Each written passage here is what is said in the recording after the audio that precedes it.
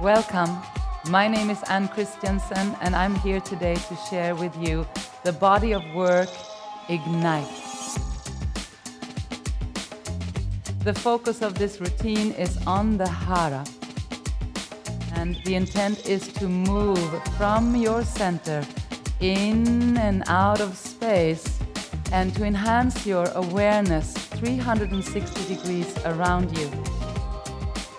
You will have an opportunity to dance what you sense and to express emotion and to condition yourself holistically.